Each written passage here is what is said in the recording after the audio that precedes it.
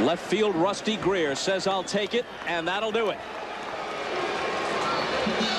If this goes five Burkett and Cone will hook up again in the decider but tonight Burkett has by far the better of it.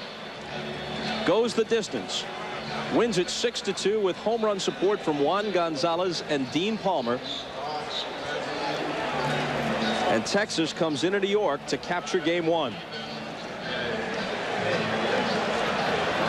They play Frank Sinatra at much lower decibels following a defeat. So very faintly in the background. The chairman of the board